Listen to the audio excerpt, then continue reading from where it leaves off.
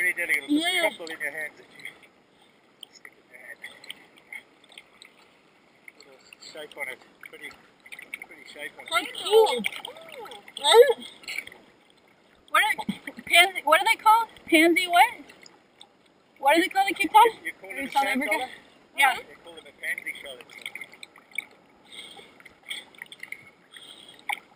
How cool.